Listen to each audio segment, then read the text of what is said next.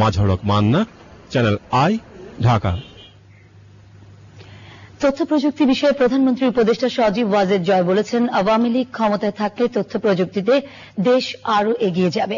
বর্তমান সরকারের মেয়াদী সাতটি বিভাগে আইটি ভোকেশনাল ট্রেনিং ইনস্টিটিউট হবে আর ফাইবার কেবলের আওতায় আসবে সাড়ে চার হাজার union. Obaidul Rashid report. Bangladesh computer council ভবনে জাতীয় পর্যায়ে মোবাইল অ্যাপস প্রশিক্ষণ ও সৃজনশীল অ্যাপস উন্নয়ন কর্মসূচি এবং পাঁচশো অ্যাপসের উদ্বোধনী অনুষ্ঠান। প্রধান অতিথি প্রধানমন্ত্রীর তথ্য প্রযুক্তি বিষয়ক উপদেষ্টা সজীব ওয়াজেদ জয়।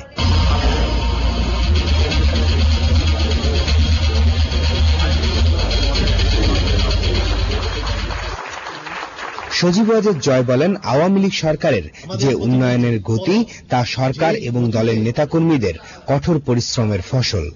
দেশকে এগিয়ে নিতে তাদের যেমন আরও অনেক পরিকল্পনা রয়েছে, তেমনি রয়েছে অনেক স্বপ্ন। আমরা সাতটি আইটি ভোকেশনাল ট্রেনিং ইনস্টিটিউট করব। প্রতিটি ডিভিশনে আমাদের একটি করে ট্রেনিং ইনস্টিটিউট করার পরিকল্পনা আছে। এই কাজ অলরেডি কর্মসূচি আমরা নিয়েছি। এই টার্মের মধ্যে আমাদের আওয়ামী লীগ সরকার এটা বাস্তবায়ন করবে। দেশের সাড়ে চার হাজার ইউনিয়নে আমরা পরিকল্পনা করছি, আশা আছে, এই টার্মের শেষের মধ্যেই আমরা ফাইবার অপটিক কেবল পৌঁছিয়ে দেব, যাতে সারা দেশে আমরা high speed internet broadband connectivity দিতে পারি।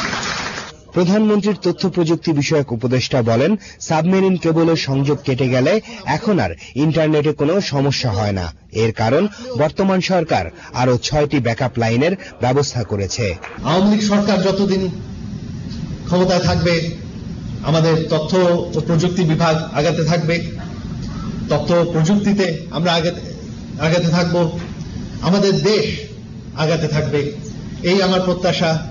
এর জন্য আমরা সবাই পরিশ্রম করে যাচ্ছি। বর্তমান সরকার আইসিটি সহ বিভিন্ন খাতে তরুণদের জন্য যে প্রশিক্ষণের সুযোগ করে দিচ্ছে তা কাজে লাগিয়ে দেশকে এগিয়ে নিতে তরুণদের আহ্বান জানান সজীব ওয়াজেদ জয়। Obaidul Rashid channel I Dhaka. সেনা কর্মকর্তাদের পদোন্নতির জন্য সেনা সদর নির্বাচনী পর্ষদ দু হাজার পনেরো আনুষ্ঠানিক সভা